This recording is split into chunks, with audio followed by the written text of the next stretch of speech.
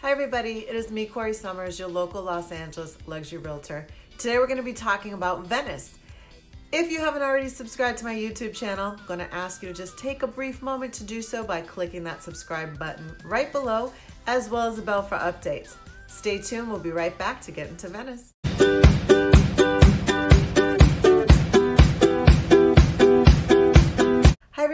It's me, Corrie Sommers, your local Los Angeles luxury realtor. Today we're going to be discussing the area of Los Angeles known as Venice.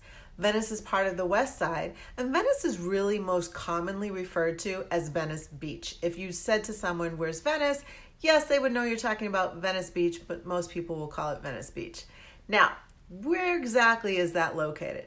Venice Beach is accessible off the 10 freeway. It is bounded by the northwest um, by Santa Monica. Then Mar Vista is on the northeast.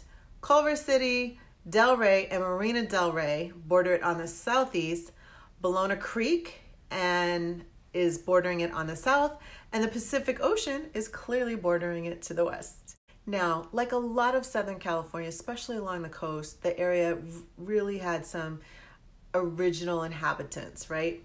But I'm going to kind of jump ahead. In 1839, La Ballona, which included the southern part of Venice, was granted by the Mexican government to the Machados and Talamantes, and it gave them title to Rancho La Ballona, which became the port of Bologna.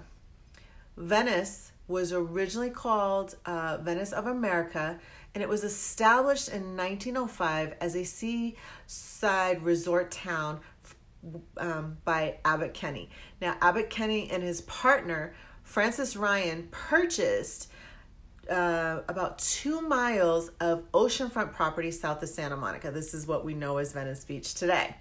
This purchase was done in 1891, and they built this resort town um, on the north end of the property called Ocean Park, which eventually got annexed from Santa Monica. So some of you are familiar with Ocean, so just kind of picture that that as the boundary right there.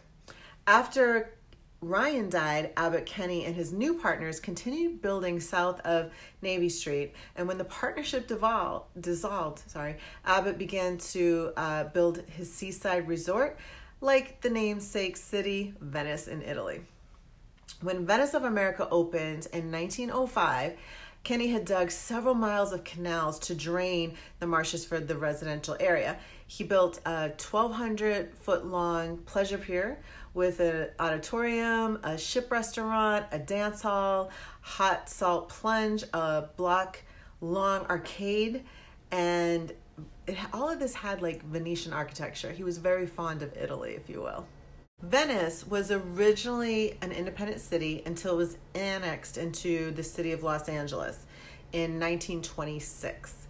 Venice is known for having canals, a beach, obviously, and an oceanfront walk with two miles of a paved, um, not sidewalk so much, but an, a paved pedestrian promenade that features performers, fortune tellers, artists, and really there's two and a half miles that people can bike, walk, jog, rollerblade, which are all very popular activities that you will see. If you've ever been to Venice Beach on the weekends, there's shops all along this area plus there's a lot of outdoor vendors street vendors and as i mentioned a lot of like local performers really just kind of hang out at venice make money by doing their performances. Some of these people have actually made it onto television or they've toured across america because of the exposure they've gotten at venice and it's really part of the draw to walking the venice boardwalk if you will. Now in 1929 oil was discovered south of washington street along the uh, Venice Peninsula, now known as the Marina Peninsula. Within two years, 250 oil wells covered the area, and drilling waste actually clogged the waterways. It was a short lived boom that provided income to the community, which had really suffered a lot in the Great Depression, and most of the wells were capped off by the 19th. I'm gonna keep it real. Venice has always has not always had the best track record of history. See, for a while, Venice was actually ignored by the city of Los Angeles and really became run down. It was kind of referred to as the slum by the sea in the 1950s. And with the exception of new police and fire station in the 1930s, the city really spent very little money in Venice improving it after the after it annexed it into the city of Los Angeles. They did not pave the trolley, the, the which is where the, the trolleys used to go, until 1954 when county and state funds became available.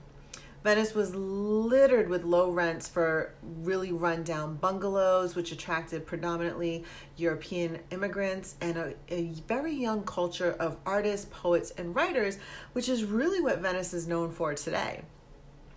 Venice has a farmer's market every single Friday from 7 a.m. till 12 a.m. on Venice Boulevard and Venice Way. Venice is known for the boardwalks, it's known for the shops, it is heavily, heavily, heavily visited on the weekends with tourists far and wide and locals. And Venice Beach has the most famous outdoor workout area ever. Muscle Beach, which has been featured in a plethora of movies, and this is where you can catch some serious workout enthusiasts. And I mean serious. These guys and gals have amazing bodies and like incredible tans, and clearly they just live outdoors at the Venice Muscle Beach gym. I'm just saying. There's also basketball courts, and they're really renowned for street ball. Very competitive game. I know several uh, professional athletes that have actually played in this. Several um, Division One uh, college players have played in this, and this is actually where some people have been recruited into the NBA just from the sheer strength and competitiveness of the game right here at these courts. Now, I'm I'm gonna say what probably most people don't want to talk about. For a while, Venice was really struggling with um, some some gang activity, and this, of course, kind of goes back to what I said earlier. For a while, the city of Los Angeles kind of just ignored Venice, and it got run down. But it has been experiencing a massive revival over the last 20 years. A lot of developers have gone in, built homes. There's just people that live in Venice, love Venice, really have a lot of pride of homeownership, lots of trendy restaurants, places to eat. And again, with all the tourism that comes and goes, it's a great place. For a while, when I lived on the west side, I actually used to go down to Venice three I want to say nights because I worked an early shift about five o'clock and rollerblade. And I even would do this on Saturday and Sunday mornings around seven in the morning. And that's when you would catch, interestingly enough, a lot of radio personalities and people in te- television and film that were just trying to beat all the crowds and get a really, you know, outdoor, sweat driven workout in. Now, I'm going to go over three properties that are currently on the market in Venice at the time of recording this video. You know how it goes by now, right? So the first one is asking a modest $1,220,000. This is located at 1849 Malgrove Ave. It's a two bedroom, two bath, 758 square foot home, so it's relatively small, hence the price. The second property is a new construction home asking $5,790,000. It's a five bedroom, seven bathroom home, 5,999 square feet on a 10,889 square foot lot, which is pretty large for Venice. And it's an architectural modern masterpiece.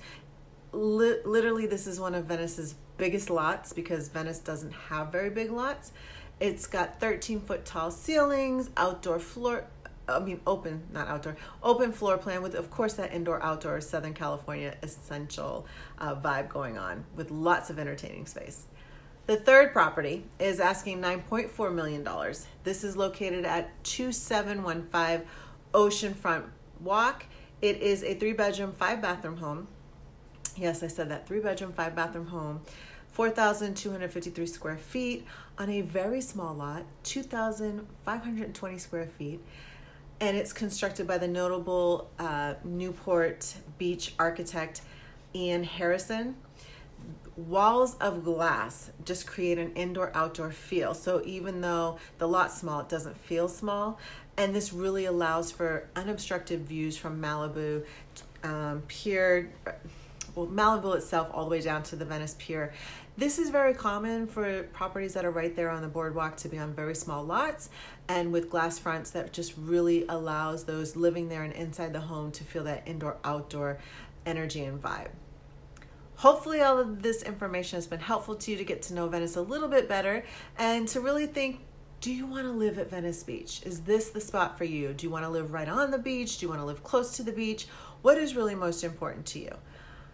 If you want some more information, of course, I have some goodies for you. Uh, below is a link for a guide to relocating to Los Angeles, as well as a guide on Venice Beach. Before I go today, I want to thank you again for watching my video. If you haven't already subscribed to my YouTube channel, please take a moment to click that subscribe button below, as well as the bell for updates. I'm wrapping up 31 neighborhood videos in 31 days here on my YouTube channel, Real Estate to Financial Freedom.